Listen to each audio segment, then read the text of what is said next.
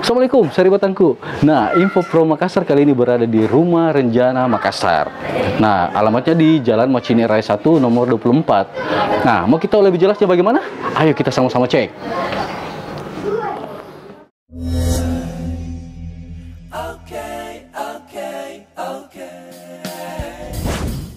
Nah, Batangku ketemu lagi dengan Bro Muhni.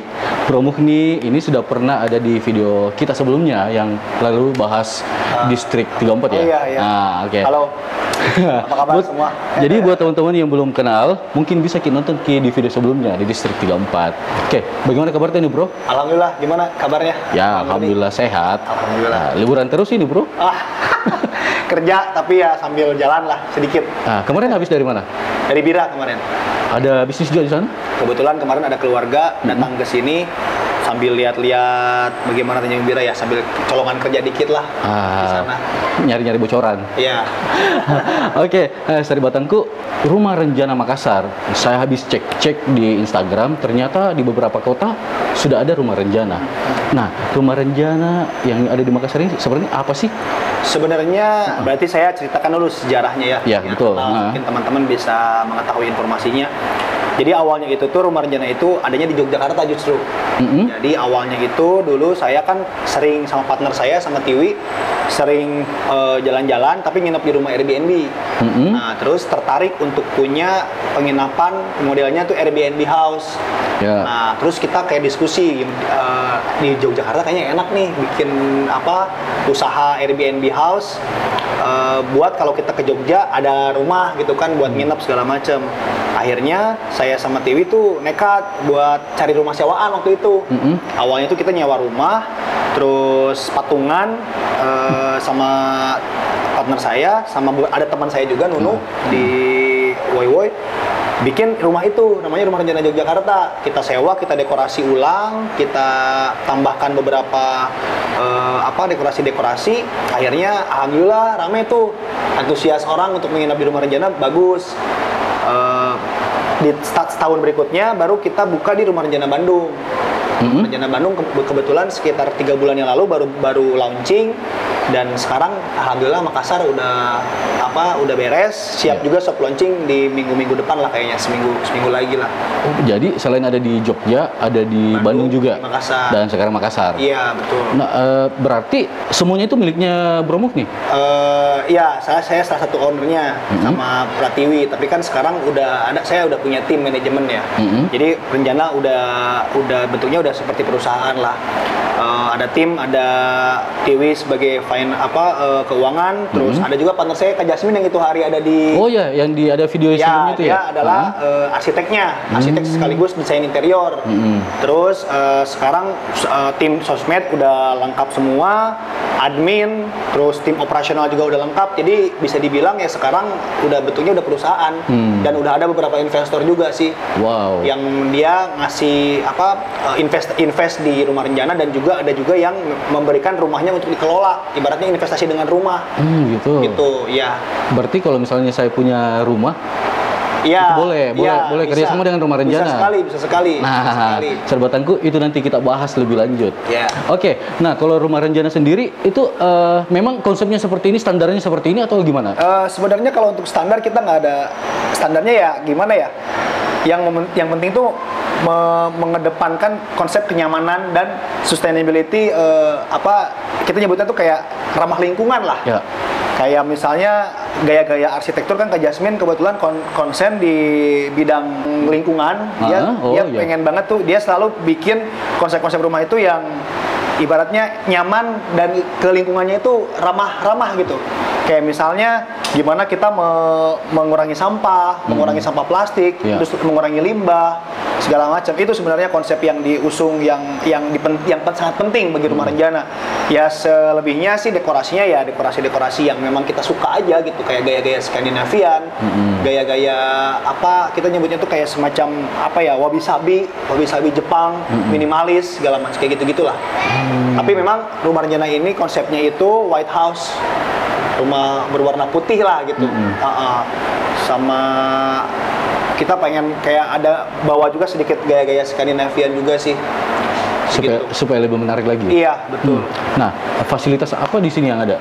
Kayak Fasilitas di sini ada AC, terus WiFi, Netflix kalau mau nonton Nonton, Netflix, iya. ya.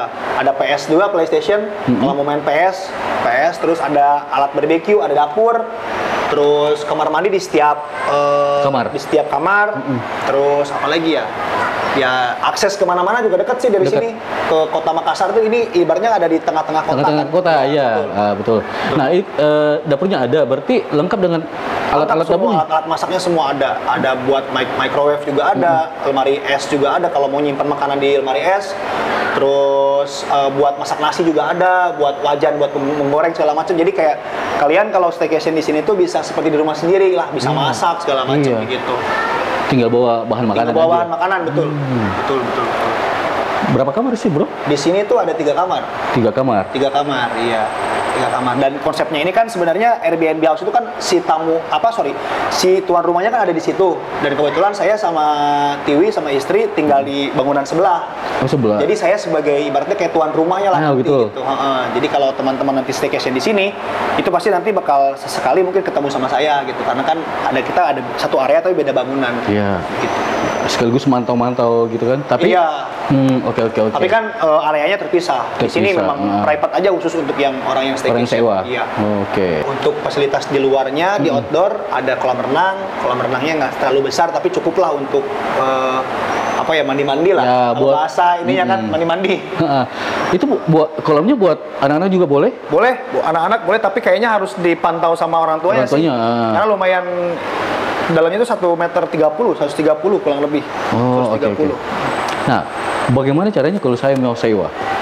Eh, kita sementara bisa di booking di lewat WhatsApp atau di Instagramnya @rumahrenjana underscore Makassar. Nah, terus nanti ke depannya mungkin eh, akan ada di Airbnb sama akan ada di Traveloka sama tiket.com. Oh, oke. Cukup mudah. Cukup mudah. Nah, ada persyaratannya mungkin? Persyaratannya apa ya? Ya KTP aja sih, basic KTP terus eh, ya gitu aja identitas diri aja. Enggak, maksudnya kalau misalnya kita mau sewa itu maksimal berapa Oh, orang sorry, sorry. gitu? Maks- maksimalnya di sini kemungkinan nanti 10 sampai 12 orang sih kayaknya maksimalnya. Karena pertama kapa- kapasitas kamarnya kan cuma tiga, Mm. itu pun juga lebihnya paling tidurnya tidur nyemper di Iya. ini kan kalau biasanya kan kalau guest house kan begitu gitu. Iya, berarti harus dibatasi ya. Iya dibatasi karena kan eh, tempatnya nggak begitu besar lah, nggak Iya. begitu besar gitu. Tadi maksimal 12 orang. 10 sampai 12 orang. Itu Nah. pun itu pun di mix ada anak kecil ya. Ini Hah? cocok buat eh, teman-teman yang memang mau staycation sama teman-temannya atau keluarga Ya, lah. atau keluarga. Cocok sekali ini ya. Nah. Karena kan di apa di satu rumah private terus kayak ada kolam renangnya kan. Ya betul. Begitu. Jadi kita aman juga dari pandemi kan nggak nggak ke tempat rame lah ibaratnya Ya, begitu. Oke. Nah, itu per malamnya berapa? Sekitar range satu satu juta sampai 1,5 sih. Tapi lagi ada promo sih sekarang. Nah, Ah, ah. ini yang ditunggu-tunggu sama Saribatan. Promonya special price mungkin? Special price sekarang itu lagi kita mau ngejual eh, harganya itu 1.500.000 Ah, ah. eh, untuk maksimal 10 sampai 12 orang, Mhm. tapi udah gratis ke Pulau Samalona, udah gratis perahu. Gratis perahu. Iya, jadi teman-teman yang nginep di sini bisa nanti ke Samalona gitu, udah ada perahu dari Renjana disediakan gitu. Oh, Dengan cuma menarik cuma bayar Saribatan. 1,5 1 1,5 juta ya. Oke oke oke menarik tuh Saribatan tuh tahu baru keren tempatnya sini. Iya. Nah, nah, kita bahas lagi yang tentang rumah rencana Iya. manajemen. Nah kalau misalnya saya punya lahan atau punya rumah, Hmm. terus saya mau eh, buat rumah rencana di eh, mungkin di, Ma- di Makassar tapi areanya bukan di sekitar Iya, sini, iya. mungkin eh, di tempat lain lagi kayak di Sumber Binasa atau di di, apa? apa perintis, Eh, perintis ya, gitu. Andrea gitu ya. Nah itu boleh. Uh, boleh-boleh aja sebenarnya, tapi nanti akan ada tim survei dulu Mm-mm. buat melihat bagaimana uh, apa namanya wilayahnya, lokasinya, konstruksi rumahnya gitu Mm. kan. Nanti kalau misalnya udah oke segala macam udah dapat jalan tengahnya kita bisa bisa kerjasama sih gitu. Nah, itu kira-kira budget itu kira-kira berapa kalau misalnya kita mau kerja sama gitu. Budget- Apakah semua semuanya ditanggung oleh rumah rencana atau saya sebagai pemilik lahan boleh invest juga? Itu juga bisa sih dengan cara misalnya kita rencana yang menjadi investor tunggal Mhm. ataupun misalnya mau yang punya rumah juga dia mau investasi. Itu lebih bagus menurutku. Jadi bisa si yang punya rumah itu bisa investasi juga di situ gitu. Hmm. Rumahnya rumahnya juga kan jadi jadi makin bagus kan. Iya, Gitu. walaupun dia sebenarnya eh, sudah punya lahan Iya, gitu kan? Betul, betul, betul. Kan di Bandung juga begitu konsepnya. Ada orang yang memang punya eh, rekan saya punya rumah, Mm-mm. terus dia juga ya investasi di situ dan akhirnya ya jadi akhirnya investasi terus rumahnya juga dikelola gitu. Oh, jadi eh, boleh boleh misalnya eh, rumah rencana yang eh, investasi tunggal, Ah, boleh juga pemilik rumah in- eh, ngasih investasi juga. boleh juga kayak gitu. Atau misalnya kalau rumah kalau dari pihak rencananya pengen beli rumah kosong atau bikin lahan baru juga bisa aja. Jadi kayak kita tuh banyak sebenarnya model bisnisnya gitu. Ada yang memang kita sewa sewa rumah, ada yang kita memang ngebeli tanah dan rumahnya gitu. Jadi ya cukup lumayan cukup banyak lah model-model bisnisnya gitu. Iya. Atau ada juga misalnya oh mau investasi ke rumah rencana juga bisa. Oh Misalnya iya. kayak rumah rencana mau bikin eh, cabang di mana, terus Iya. om tertarik untuk jadi investor, Mm-mm. ya itu juga bisa gitu. Berarti sistem bagi hasil. Bagi hasil ya sharing itu mungkin nanti harus via japri kali Ya ya, betul. langsung aja konsultasi ke Ah, sini jadi, gitu. Ya informasi le- lebih lengkapnya boleh langsung japri ke Bro Muhni. Ya langsung boleh kita ngobrol-ngobrol sambil Ya. ngopi kan di distrik gitu. Tuh. Nah, oke. Nah, kalau misalnya kita mau sewa lagi nih, eh, itu metode transaksinya seperti apa? Bisa ditransfer ataupun kalau di Airbnb pakai kartu kredit. Hmm. Jadi kalau di booking langsung itu dia DP dulu sih biasanya. Iya. DP baru nanti pelunasan pas hari H. Tapi kalau cancel DP-nya tidak kembali. Oh gitu. Iya.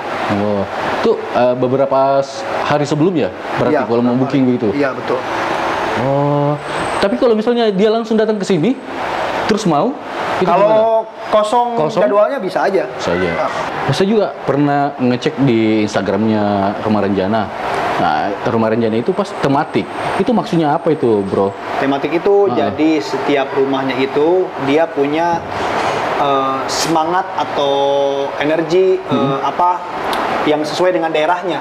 Kayak Ah. di Bandung misalnya di setiap kamarnya itu dia punya cerita. Gitu. Punya cerita. Jadi misalnya kayak seperti nuansa di canyon, Mm-mm. seperti nuansa di eh, pedesaan, Mm. seperti nuansa di lautan. Jadi kayak dia itu punya tema-tema tersendiri di setiap rumahnya. Di Jogja kan dia lebih ke culture banget, Oh, ke betul. adat gitu kan, ke apa budaya suku gitu kan, budaya budayanya lah. Hmm. Jadi kayak di- dimunculkan seperti dekorasi-dekorasi yang bernuansa budaya kebudayaan gitu kan. Terus kalau untuk di Makassar itu dia lebih ke vibes eh, apa ya, yang mengingatkan terhadap Makassar lah. Iya, betul. Makassar kan terkenal dengan apa ya, sunsetnya bagus, Ya, segala macam gitu laut. kan, laut. Mm-mm. Jadi kayak kita membawa nuansa itunya lah ke rumah ini gitu. Hmm. Jadi memang di rumah ini bakal mengingatkan kita terhadap Makassar gitu spiritnya. Iya. Jadi gitulah kita menyebutnya tematik guest house gitu.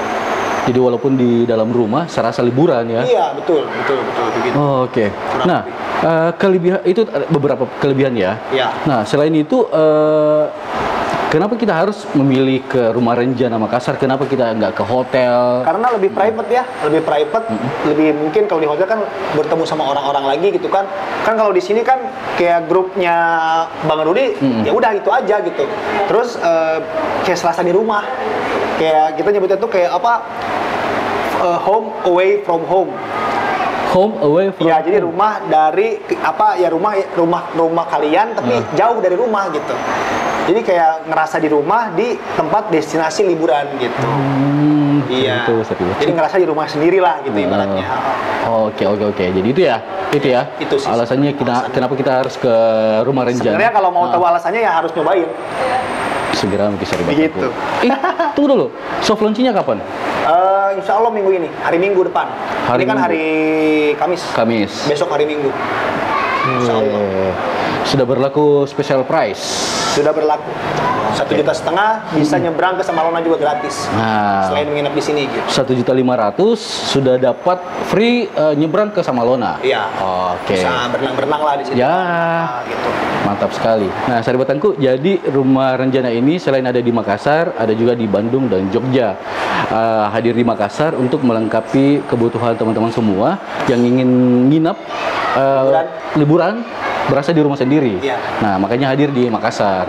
Nah, untuk di fasilitas di Rumah Renjana Makassar ini sangat mengakomodir eh, kebutuhan-kebutuhan teman-teman semua karena kamarnya ada tiga, Fasilitasnya lengkap lah. ya fasilitasnya lengkap. Jadi eh, teman-teman bisa ngumpul di sini bersama keluarga mungkin atau komunitasnya Ya. atau grupnya bisa ke sini. Nah untuk eh, budgetnya eh, nginap di Rumah Renjana Makassar itu budgetnya 1.500 per malam itu maksimal 10 sampai 11 orang. Ya. Eh, terus itu sudah dapat free eh, nyebrang ke Pulau Samalona. Ah, mantap sekali tahu Saribatan. Bagi teman-teman yang punya lahan atau punya rumah yang ingin bekerja sama dengan rumah rencana, itu boleh banget. Jadi ada tiga eh, metode, bisa dibiayai sendiri, bisa membiayai, dan juga bisa menginvestasi. Iya. Jadi Sebenarnya Mm-mm. banyak banyak lah model-model Iya. kerja sama lain, dan tapi lebih enaknya mungkin ngobrol langsung ya. Ya, nah buat teman-teman yang eh, butuh ins- eh, informasi lebih lanjut, tetap nah, bisnis ini gitu. Ya, betul. Kita akan eh, cantumkan nomor telepon dari sang pemilik atau eh, Bro Muhni di deskripsi video kami. Jadi, teman-teman bisa ngecek di video kami tentunya di Info Pro Makassar. Oh ya, promonya sampai kapan? Sampai akhir bulan Maret. Bulan Maret. Iya. Oke, jadi Sari Batangku promonya sampai bulan Maret. Jadi buruan Maki eh, nginap dan cobain di Rumah Renjana Rumah Renjana Makassar. Oke. Harus coba. Harus coba. Nah, makasih Bro Siap. waktunya sudah memberikan lagi informasi tentang Rumah Renjana ke teman-teman semua. siap, siap. Semoga makin banyak Rumah Renjana eh, di Makassar Siap. atau di kota lain. Nanti rencana yang lain mungkin bisa dipromoin lagi ya. Yo, pasti. Nah, Saribatanku, jika menurut ta informasi ini bermanfaat, jangan lupa share dan bagikan ke teman-teman tak, kerabat tak, ataupun keluarga tak, supaya uh, informasi ini banyak yang tahu, berarti lebih banyak manfaatnya juga. Saribatanku, jika menurut ta informasi ini bermanfaat, jangan lupa share dan bagikan ki ke teman-teman tak, ke kerabat tak, ataupun ke keluarga tak, supaya informasi ini banyak yang tahu, semakin banyak manfaatnya. Dan jika tidak ingin ketinggalan tentang info-info promosi dari kami dan juga materi inspirasi dari kami, jangan lupa subscribe dan nyalakan ki loncengnya. Karena info Pro Makassar bukan hanya sekedar promo, tetapi juga edukasi. Terima kasih bro. Terima kasih. Assalamualaikum warahmatullahi wabarakatuh. Saribat Tangki. Thank you.